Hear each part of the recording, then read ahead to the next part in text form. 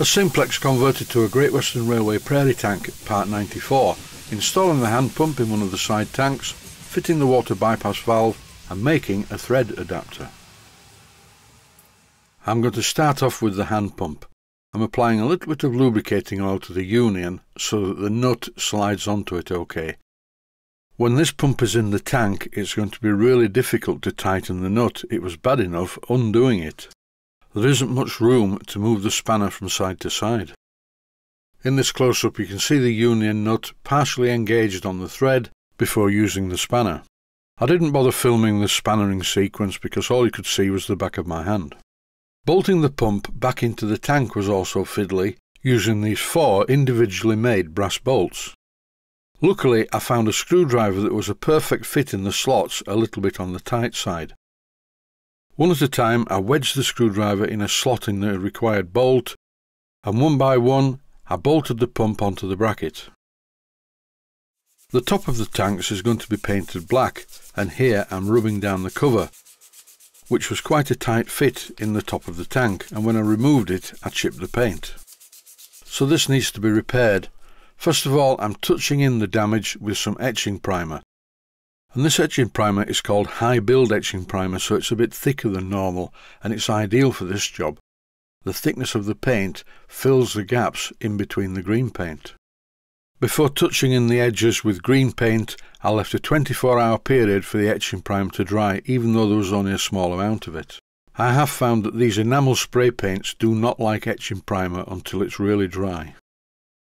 I painted the top of the tanks using HMG satin black and I brush painted this. First of all I squirted some from the aerosol into the aerosol's cap and after a few hours it looked like this and it's only the first coat so I think the top of the tanks are going to look okay. Time now to look at the water bypass valve and here it is after I packed it with Teflon coated yarn to seal it against the pressure. Before fitting the valve I applied a very small amount of lubricating oil. Then all I needed to do was screw in the tap, which simultaneously started to screw the nut onto the thread on the end of the fitting, after which I tightened the nut using my Bahco spanner as usual. This, by the way, is the water bypass return valve to the tank from the axle-driven pump. The water pump driven by the axle obviously pumps water all the time, and this would not be a good thing because it would just fill the boiler right to the top every time you ran the engine. But luckily you can open the bypass valve to let some or all of the water back to the tank, depending on how much water you want to go into the boiler. There was, however, a problem with the water outlet from the hand pump. The pipe was the wrong way round. It had a union cone and a nut sticking out, and the nut was damaged. I chopped off this extra piece of pipe that was soldered into the end of the elbow, and here, after drilling it tapping size for quarter by forty, I'm using a quarter by 40 threads per inch tap to thread the hole. All I need to do now is make a special adapter which will be quarter by 40 at one end and 5 16 by 32 at the other end. So it's over to my old Boxford lathe, which currently is still the lathe that I do most of the work on. I've fitted a piece of brass hexagon bar into the chuck, and I'm turning one end of it down to 5 16 of an inch in diameter. I generally get very close without a micrometer, occasionally I go undersized but not often. In fact, according to my calibrated eye, one more pass should do it. And here it is. All I need to do now is use my tailstock die holder fitted with a 5 16 by 32 threads per inch die and rotating the chuck by hand whilst holding the handle of the die holder. I end up with a very accurate 5 16 by 32 threads per inch thread on the end of the piece of bar. A thread adapter is not going to be much good without a hole through the middle. Here I'm initially drilling the hole using a centre drill because I also need the cone part of it. Then I complete the drilling using a 1 8 of an inch diameter twist drill. I'm drilling further through the piece of brass than I need to, so when I part it off I can be sure that the parting tool will break through to the hole.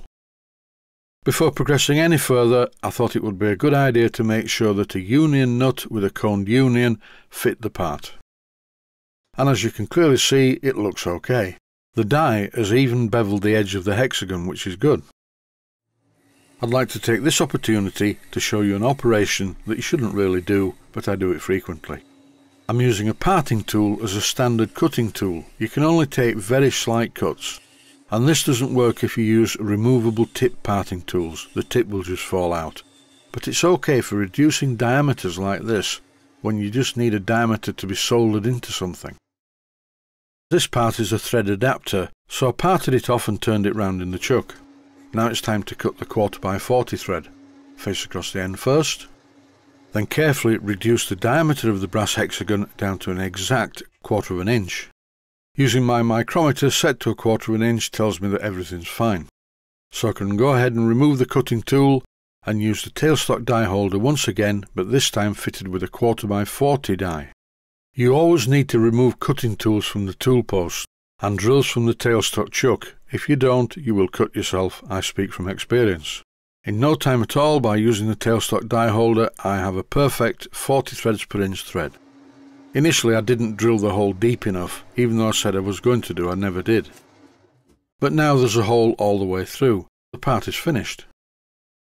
I used some Loctite 542 thread sealant as usual to make sure there was no leakage between my fitting and the thread in the elbow. I tightened the part in place using my Bahco spanner as usual and just gave it an extra nip to make sure it was tight. The hexagon part of this fitting was slightly marked by the chuck jaws, and if I was going to leave it like this, I would have polished it up. But when I repaint the elbow, I will also repaint the fitting. That's it for this episode. This series is rapidly reaching its conclusion. Hopefully, at nearly a hundred episodes, there won't be many more to do. That's it for this one. Please stay healthy, thanks for watching, and I hope you found it useful.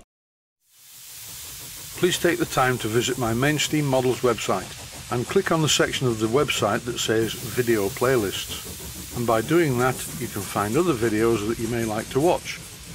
And by using the playlists, you can actually watch the videos back to back.